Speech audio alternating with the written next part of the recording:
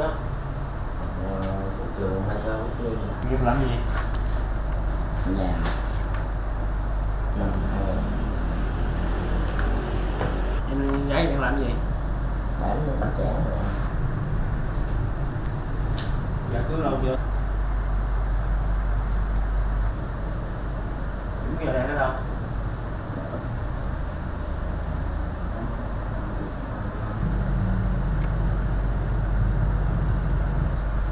thành chưa cũng chưa